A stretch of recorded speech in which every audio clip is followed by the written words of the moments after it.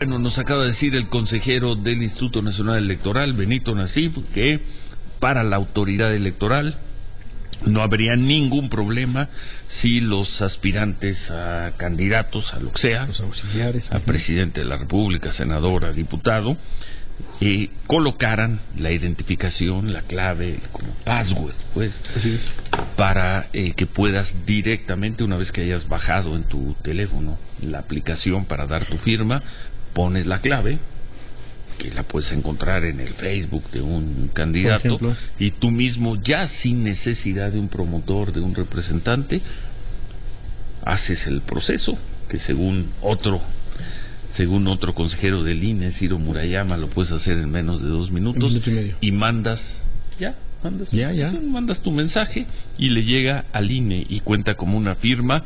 Pregunta que te decíamos ayer y según nos acaba de decir el consejero Benito Nasif, sí se puede. Jorge Camacho, jefe de oficina Margarita Zavala, buenos días. ¿Cómo estás, Ciro? Te saludo con muchísimo gusto y pues atento escuchando lo que decía Benito Nasif y la verdad es que creo que es eh, una, una noticia que nos viene bien a todos los que estamos en, este, en esta lucha por conseguir las firmas. Habrá que tener algunas precisiones por parte del Instituto Nacional Electoral porque el instituto te pide que cada uno de los auxiliares, cada una de las personas que te va a ayudar, tenga una, te firme una carta en la que de alguna manera pues eh, se, se, hace responsable del cuidado de los datos personales. Al hacer público lo que le acabas de preguntar y que él de manera muy atinada te responde que si se puede hacer, pues de alguna manera te da la oportunidad de transitar en ese, en este, pues en esa nueva forma de buscar firmas. Bueno, ¿cómo tomas todas las palabras de Benito Nasif? Pues de manera muy positiva.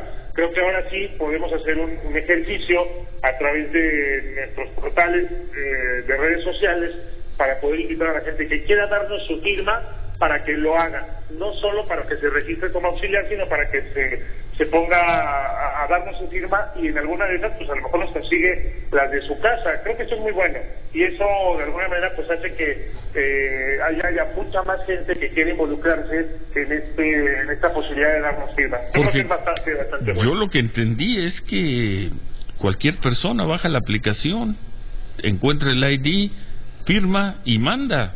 Así lo entendí yo y, pedirle a la gente que está cerca de ellos que también nos ayuden en eso. Yo creo que es una muy buena noticia.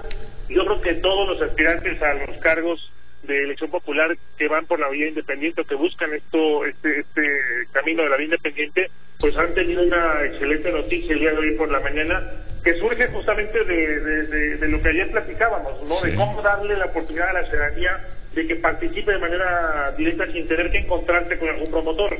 Lo, lo dijo Benito Nasib, las cosas van evolucionando. Sí, esto evolución. Nosotros tomamos como un brínquense el muro de Berlín. Ya no va a haber problema. Sí, sí, sí, ya súbanse y vayan. Sí, porque además Benito, lo están haciendo. Me, me, da la impresión de que no lo dice directamente, pero es lo que está haciendo y se señala directamente uno de los de los auxiliares del Bronco, eh, que pensábamos que era una irregularidad o que se suponía irregularidad, pues no lo es, Jorge. No, no lo es y además después de escuchar a, al consejero Benito Nasí, pues de alguna manera se oficializa para que todo el mundo pueda hacer algo que en teoría eh, no tendría que haberse podido hacer, pero bueno, pues hoy está ya oficializado y creo que eso nos da la oportunidad de poder tener y hacer un ejercicio para que todo el mundo pueda acercarse a través de la, de, la web a, a tener este ID.